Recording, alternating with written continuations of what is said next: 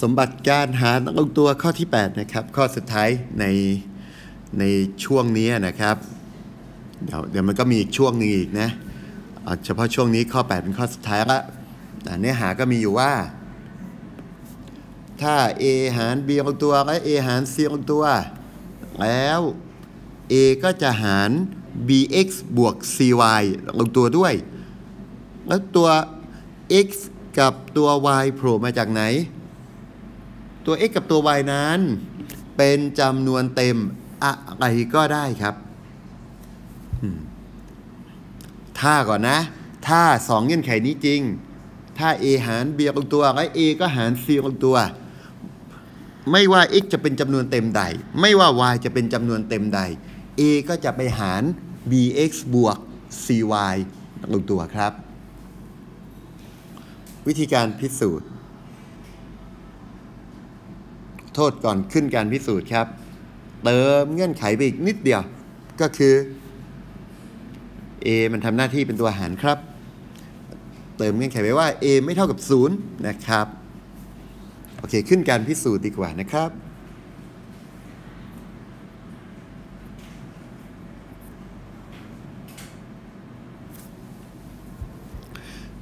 การพิสูจน์ก็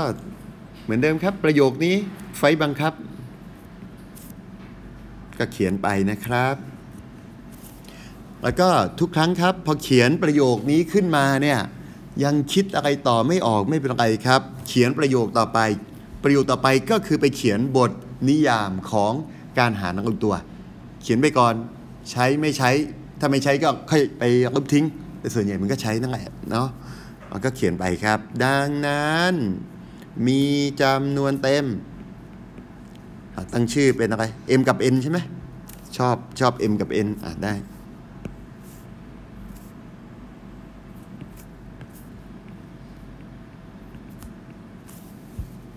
ที่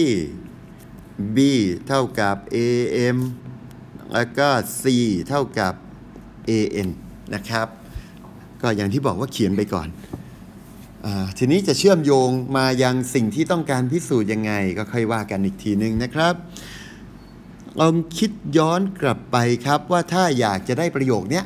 ประโยค a หาร bx บวก cy ลงตัวบรรทัดก่อนหน้า แน่นอนไอ้บรรไอ้สิ่งเนี้ยมันคือบรรทัดสุดท้าย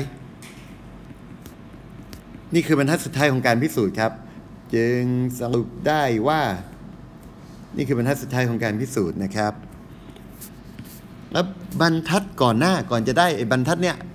ต้องได้อะไรก่อน ต้องได้ว่า bx บวก cy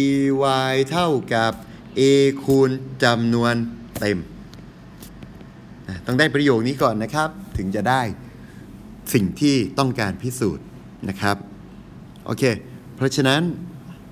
เราจะต้อง b ต้องไปคูณกับ x ครับ ตอนนี้เรามี b อยู่นะครับ ตอนนี้เรามี c อยู่นะครับ b เท่ากับ am c เท่ากับ an นะครับ แต่ตรงนี้ b อยู่ไม่ได้อยู่เฉย b ต้องคูณ x b ต้องคูณ x x คืออะไร ภาษาทางการก็คือสามารถกับทุกจำนวนเต็ม x และ y เอาภาษาให้เข้าใจง่าย x เป็นจำนวนเต็มอะเท่าไหร่ก็ได้ พอเท่าไหร่ก็ได้มันก็เลยระบุเป็นตัวเลขไม่ได้ ก็ต้องระบุเป็นตัวแปรใช่ไหมเออ เพราะฉะนั้นเนี่ยการพิสูจน์ การเขียนการพิสูจน์ไอ้ for all เนี่ยเราก็ต้องให้อีกแล้วครับให้ x และ y เป็นจำนวนเต็มใด ๆ ครับ ดังนั้น bx เท่ากับเท่าไหร่ครับ bx ก็จะเท่ากับ ก่อนหน้านี้เราได้ bx เท่ากับไอ้โทษเราได้ b เท่ากับ am พอ bx ก็กลายเป็น a m x นะครับ แล้วก็มีบวก cy ด้วยบวก cy บวก cy แต่ c นี่มันเท่ากับอะไรครับ c มันเท่ากับ an พอ cy ก็ต้องเป็น an y นะครับ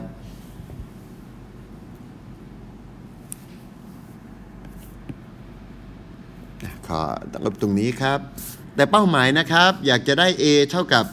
โทษ อยากจะได้ว่า bx บวก cy เท่ากับ a คูณจำนวนเต็มได้ยังครับ ได้แล้วครับ โดยการดึง a ออกครับไอ้คำว่าดึง a ออกนี่กำลังใช้อะไรอยู่ ใช้อะไรอยู่ครับรู้ได้ไงว่าดึง A ออกได้ทำไมดึง A ออกได้ครับ ครูคณิตศาสตร์ตอบครับทำไมดึง A ออกได้ เพราะเราเชื่อว่ามันดึงออกมาได้ครับ สัจพจน์ครับ ข้อสุดท้าย สมบัติการ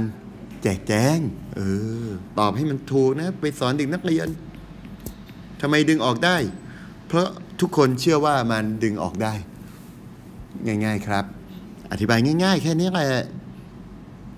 อันไหนพิสูจน์อันไหนเชื่อเอาให้มันชัดนะครับ โอเค ก็จบได้เลยนะอะ